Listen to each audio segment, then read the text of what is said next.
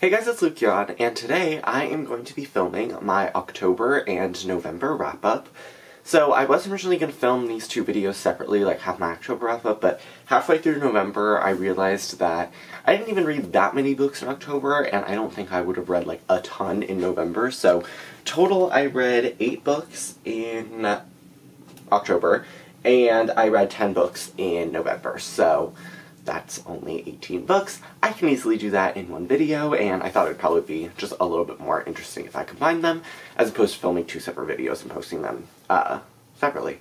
So yeah, um, let's just get into the video. So obviously starting with the books that I read in October, the first book that I read was actually a reread, and that was The Box in the Woods by Maureen Johnson. This is the fourth book in the Truly Devious or Stevie Bell series. This is a standalone book, so whereas the first three books were all part of like the same mystery, this one kind of deviates from that. It's its own standalone mystery.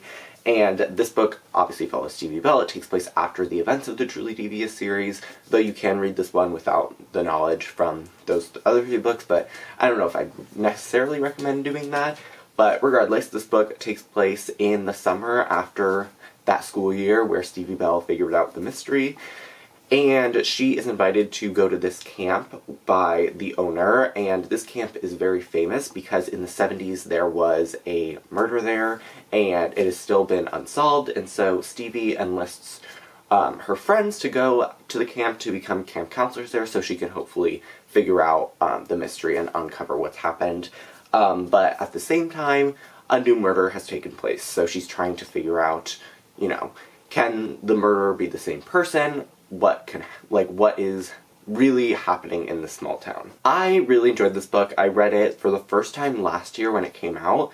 Um, in June, and I decided to pick it up again because I felt like it would be a fun, spooky read, and this is the only truly devious book that I've only read once, um, because I like to read the original three, like, kind of by themselves, and I didn't really feel like reading this when I reread those books, and this I just didn't really pick it up like in June or during the summertime or whatever. So I picked it up in October because I thought it'd be a little bit spooky, and I did still really enjoy it. I kept it at a four star rating. I don't love it as much as the original series, but I still think it's really fun. I think it's a really well crafted mystery.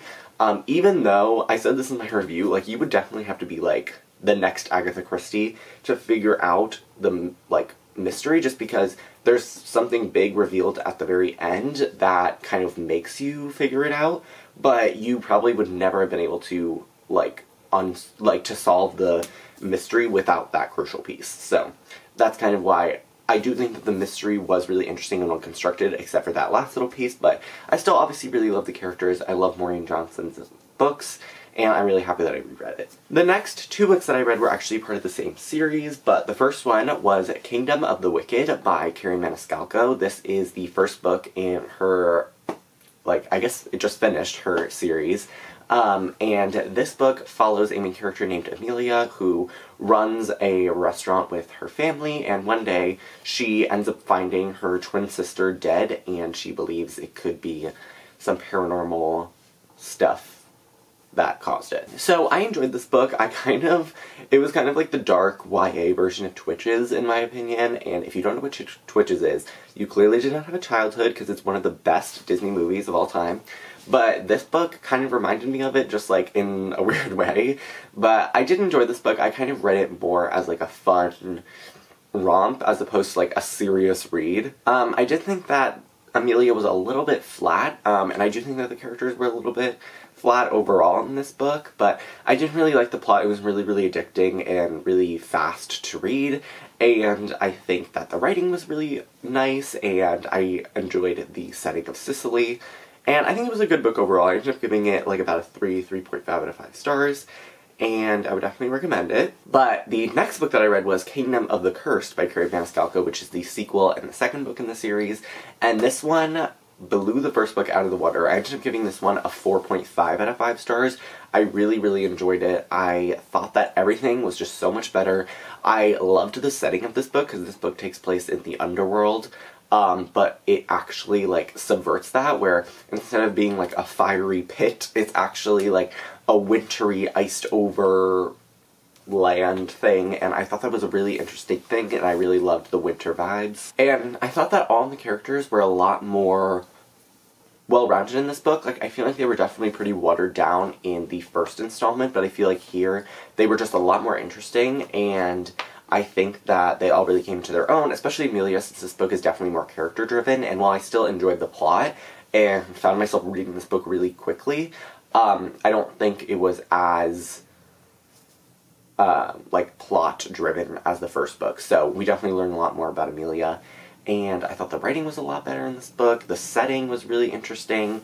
And I just thought it was overall a really, really great book. And I'm super excited to read the third and final book in the series. Continuing on with like the murder mystery theme of this month, the next three books were also all part of the same series. The first one being The Last of August by Brittany Cavallaro. This is the second book in the Charlotte Holmes series. I read the first book of Study in Charlotte last year, uh, and I enjoyed it, and I already owned the second and third book, and so I decided that I would just read it.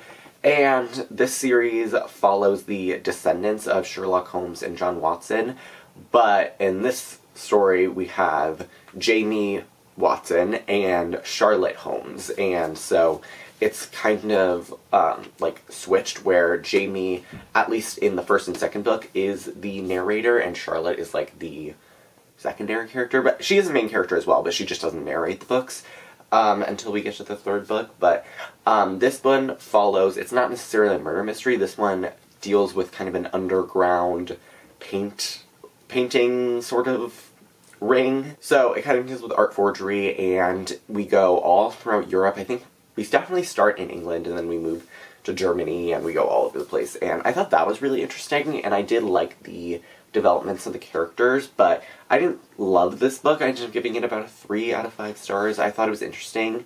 I do still feel like, even now, that even after finishing the series, that the writing is a little bit, like, it definitely keeps you removed from the story, just the way that it's written, so it's not my favorite. Um, but I did like the book. I thought the plot was interesting, even though the book was a little bit slow. Um, and I did like the characters overall. I think they are probably the shining stars of the series just because they're really, really well developed. They have really well thought out and um, developed backstories, so I thought that was really, really interesting. Then after that, I moved on to the third book, The Case for Jamie. I almost said of Jamie. But this is definitely my favorite book in the series. This is the only one that I gave 4 out of 5 stars. And I really, really liked this book. So this book, finally we get introduced to Charlotte's perspective. We had like two or three chapters at the end of The Last of August from her POV, but this book is like actually split evenly between the two of them, and I think that what is what made this book one of my favorite, or my favorite in the series, because I think they balance each other really well, and I feel like their dual perspective is what I wanted from like the entire series. So I think that's why I enjoyed this book the most and I this one is definitely more character driven. There is like a mystery, but again, it's also not a murder mystery. So I think books 2 and 3 are interesting because they don't deal with actual like what you would think of as a typical mystery, which is someone dies and the characters have to solve it. This one and the second one are more like they are still mysteries, but they're a little bit more unconventional um, and unique. So I thought that's interesting. And I don't know, I feel like this book was just a lot better, even though not a ton happens in this book. I still really liked reading about the characters, and they're actually not together for a lot of this book, so I think it was interesting to see them grow on their own, uh, and learning about both of them, so yeah, and I think that the, you know, ultimate, like, trajectory of the story, even though it wasn't super fast-paced, was really interesting as well. So definitely my favorite of the series, um, and I really, really liked it. And then I did, of course, move on to the fourth book, A Question of Holmes, and this one I also gave 3 out of 5 stars, so this book actually takes place solely from Charlotte's perspective. So this one takes place after the end of the third book, obviously, and both of them, it's kind of like, it almost felt like a spin-off to me because they graduated from school and they're in England in this book, so that was interesting. And this one does go back to the traditional mystery, like murder mystery. So obviously someone dies in this book and they have to figure it out and I didn't think that the mystery was like all that interesting, but again, I did really like the characters. I thought the writing was good. It was like a really fun read. I think um, the other books in the series are a little bit more serious, but this one was definitely more light and fun and just like a cute mystery romp, and I really enjoyed that. So yeah, I did give this one 3 out of 5 stars, and overall I would recommend the series.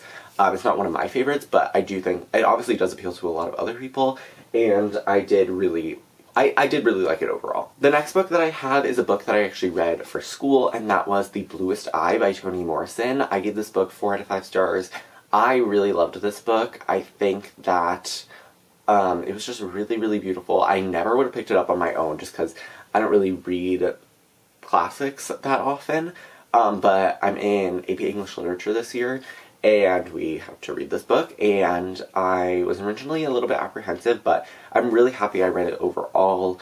Um, I'm not even going to try to explain what happens in this book just because I didn't know anything that happened when I went into it and I also just think it's like no explanation I could give would do it justice. So um, yeah, I really loved this book. I think that the characters in particular were the best parts of this book just because they're so well developed and the writing is so beautiful. There's so many layers to the story. Like every time we had a class discussion, we were connecting things back to like the very first line of the book, and it was just really interesting how everything intersected. It was definitely hard to read at points just because of the subject matter, and there's a lot of trigger warnings in this book. Um, there's trigger warnings for like rape and incest, and um, you know, obviously racism and sexism and all that. So um, definitely look into that before you read this book. But um, it is easily like my favorite or one of my favorite school books.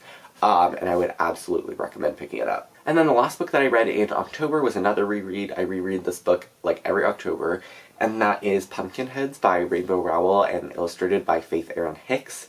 Um, this is just a graphic novel that follows two main characters, and it follows them on the last night that they're working at this pumpkin patch that they work at every year. And it's their senior year, so it's the last time that they'll be working here, and it just follows their shenanigans. And I really like this book. Give it 4 out of 5 stars, and again, I read it every year. Moving on to November, the first three books that I read in November were all part of the same series, and that was the Alex and Eliza series by Melissa De La Cruz. So, Alex and Eliza, Love and War, and All for One. Um, I gave the first two books in the series 4 out of 5 stars, and I gave the third book 3 out of 5 stars. This obviously follows the story of Alexander Hamilton and Eliza Schuyler, and it is definitely uh, not the most realistic. Um, there's definitely some historical gaps, but I did really enjoy it overall. I thought that the writing was really nice, and I loved the historical aspects. Um, I think the second book is probably my favorite. I don't know. I like the first and second book pretty equally.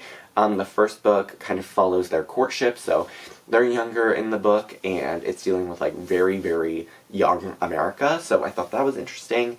And then the second book, we kind of follow them as you know they've been married and they move to New York City. And then the third book is actually like probably really boring, and it's like definitely my least favorite one in the series. Like 2.753 out of 5 stars is like probably my rating. And yeah, it kind of was just like them in New York City and like dealing with like some things that happened in history, but it was really drugged out. And I didn't love it as much, but I do think that the series overall was interesting. I honestly don't think you even need to read the third book. Um, I think you can just read the first and second as a duology, and be really happy. So yeah, um, I did enjoy this series overall. I thought it was a fun historical. I don't really read a lot of like historical fiction from like America, like that takes place in America. So it was interesting in that regard, and it was cute. So I did really enjoy it. Next is another book that I read for school. This is actually one that I chose because we're basically doing an author study where we choose one author and read two of their books. And the one, the author I chose is Jane Austen, and the first book that I read from her was Sense and Sensibility and um, I don't really know like what to say about this book because it's kind of difficult when I'm reading a book for school because I'm usually reading it more as a student than as a reader, but I did have all these tabs in it, which I think was cool, and basically my essay is going to be about how Jane Austen used illness and injury as a metaphor for how women were often beholden to men during this time, and I'm sure you guys know what Sense and Sensibility is about, so I'm not going to explain it. But I did really enjoy this book. I gave it four out of five stars.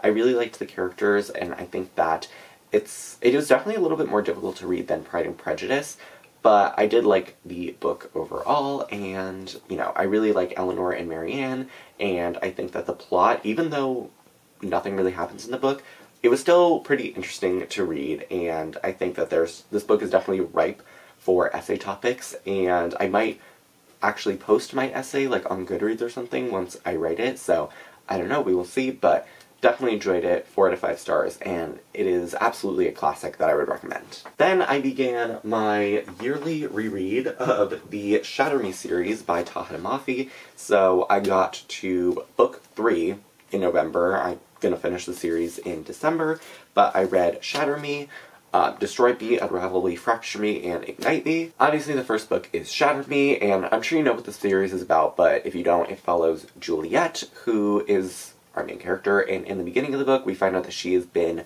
locked up in this asylum for almost a year, and it is because she has a lethal touch, and so this government group called the Reestablishment put her in this asylum to kind of keep her away from society, and the series obviously is much more than that, but um, this is kind of just how our first book begins, and I really do love this first book. Um, it's not my favorite in the series, and I think I used to rate it like five stars, but I definitely think it's a four star book, this first book, um, just because I think Tahereh Mafi was definitely still finding her footing. Um, but even so, like, you probably could not tell that this is a debut book just because of how well written it is. And I still think it's just so genius that Tahereh Mafi decided to write this book in this way where you kind of, the writing really changes a lot as Juliette grows and develops. And I just always thought that that was such an interesting part of this story, and I love returning to it every year, especially this first book. Um, it feels like coming home a lot of the time, and then um, I don't have like the bind up of Destroy Me and Fracture Me, but it is Destroy Me is in the back of this book, and I obviously really love Destroy Me. It's the novella that follows Warner's point of view in the time where he leaves in Shatter Me and returns in Unravel Me, and um, I really love that one as well. So I gave that four stars as well. And then we reach my favorite book in the series, Unravel Me. I love this book with all my heart. I think it is really a turning point of the series. We get so much development for all the characters.